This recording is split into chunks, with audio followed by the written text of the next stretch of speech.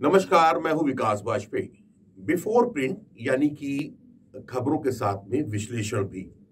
हम आज आज बात करते हैं उत्तर प्रदेश की जो चुनावी माहौल चल रहा है, वो उसमें चुनावी करवट किस तरह से बदल रही है क्या क्या मुद्दे शामिल हो रहे हैं कौन सी नई चीज़ें जुड़ रही हैं, इस पे बात करेंगे। लेकिन सबसे पहले बात करते हैं बीजेपी की चुनावी की रणनीति पे।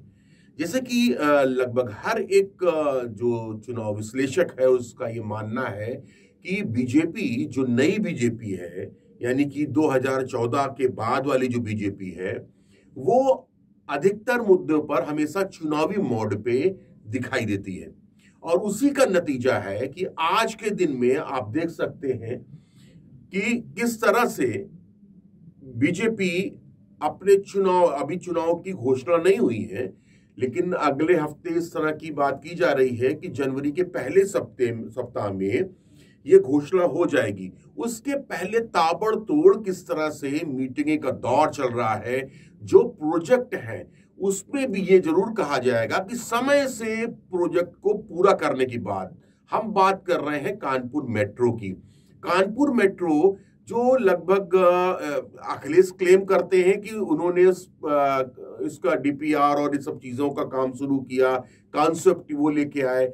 लेकिन वाकई में काबिल तारीफ़ है बीजेपी की रणनीति कि उसने तय समय से, यानी कि अब उद्घाटन आज के डेट डेट हुआ है और लगभग एक सप्ताह या दस दिन बाद जैसे कि सूचना मिल रही है आपका चुनाव की घोषणा हो जाएगी, आचार संहिता लग जाएगी। उसके पहले ताबड़तोड़ मीटिंगें चल रही हैं।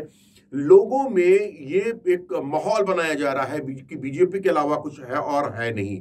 और उसी के तहत, जैसे बदायूं में आप देखेंगे तो बदायूं में जेपी नड्डा, जो राष्ट्रीय अध्यक्ष है बीजेपी के, वो लगातार रैलियाँ और कार्यक्रम में लगे हुए हैं।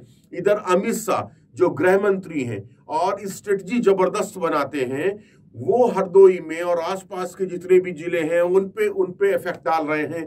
साथ में जो केशव प्रसाद मौर्य हैं, उत्तर प्रदेश में उप मुख्यमंत्री हैं बीजेपी में, वो भी प्रभाव डाल रहे हैं हर एक क्षेत्र में घूम घूम के। तो बीजेपी की जो रणनीति है, आप देख रहे होंगे कि किस तरह से वो रूहेलखंड, बुंदेलखंड टारगेट करके काम कर रहे हैं और उसी के तहत आज जो यहाँ पर कानपुर में मेट्रो का उद्घाटन हुआ, उसमें भी बीजेपी ये चाह रही है कि जो अखिलेश है या कांग्रेस है, उनके ऊपर आरोप लगाती है कि वो धर्म की राजनीति करते हैं तो उससे बिल्कुल इतर होकर वो विकास की बात की जा रही है। हर एक रैली में, हर एक बात में, हर एक जगह पे केवल विकास की चर्चा हो रही है कि किस तरह से हमने उत्तर प्रदेश में विकास की नई नई योजनाओं को शुरू किया, शिलान्यास किया, उद्घाटन किया कई योजनाएँ, जैसे काशी की बात की जाए तो काशी का पूरा श्रेय जो है प्रधानमंत्री बीजेपी पूरा ने उठाने की कोशिश की।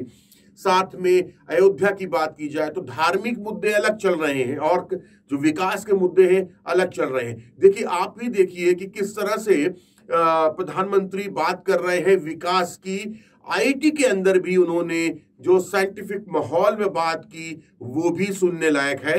हम सुनते हैं कि विकास के बारे में कि क्या सोचना है प्रधानमंत्री का आज कानपुर की इस रैली में। अगर आपको हमारा वीडियो पसंद आया हो तो इसे लाइक करें सब्सक्राइब करें और साथ ही बेल आइकन दबाना ना भूलें।